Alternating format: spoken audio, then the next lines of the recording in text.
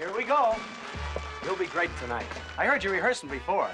Hey, what kind of songs are they you're singing? Folk songs? Uh, I guess so. That's what I thought. What planet? Just laughing it up, kid.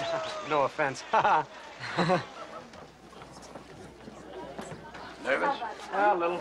Well, I just wanted you to know the place isn't full.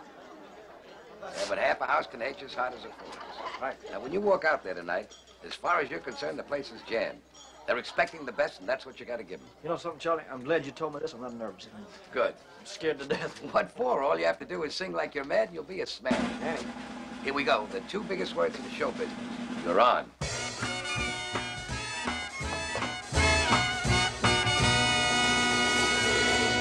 And now, ladies and gentlemen, the moment you've all been waiting for. The King Creole takes great pride in presenting a young man with a big future. The new sensation of Bourbon Street, the boy with a beat, Danny Fisher.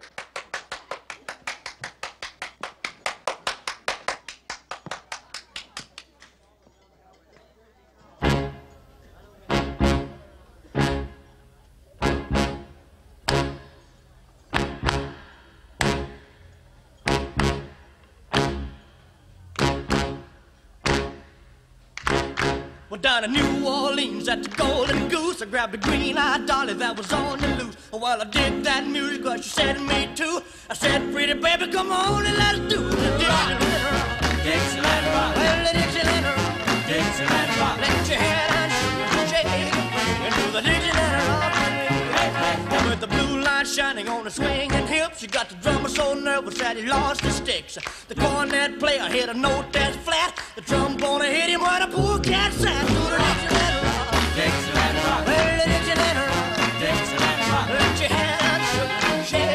And do the Dixieland rock.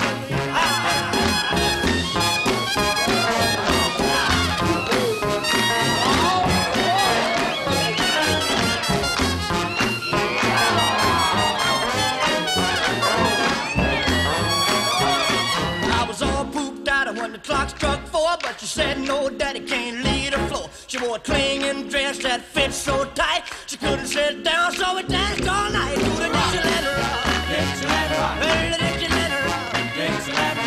You have.